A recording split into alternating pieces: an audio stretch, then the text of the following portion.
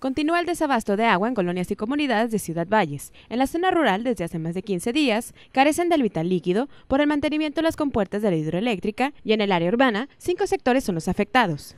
De manera provisional, el sistema de agua Mico Zaragoza, que abastece al menos a ocho ejidos de la localidad, se conectó directamente al canal que suministra a una de las hidroeléctricas que opera la CFE. Lo anterior fue dado a conocer por el encargado de DAPA Rural, Marco Guerra y eh, fue hasta el día lunes a las 7 de la mañana, tan pronto tuvimos el personal, los equipos y las eh, piezas necesarias que suspendimos el bombeo, iniciamos el vaciado completo de las conducciones y se procedió a la reparación. Esta reparación tuvo una duración de 12 horas, fue de 7 de la mañana a 7 de la tarde mientras que en la zona urbana son al menos cinco sectores los que siguen sin el suministro de agua, entre ellos la ampliación Santa Rosa, El Carmen, Gustavo Garmendia y el ejido San Felipe, debido a que una falla generó que los tanques se vaciaran por 12 horas. Anuda el bombeo eh, ya normal a esa hora, las 7, pero pues lógicamente que este es un proceso de recuperación. Hubo eh, un día que aunque fue relativamente favorable, estuvo nublado y llovinando, de todas maneras, pues se vació todos los tanques y gran parte de las tuberías quedaron vacías.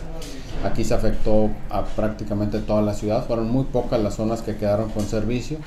Con imágenes de Raúl González e información de Maggie López, el Mañana Multimedios.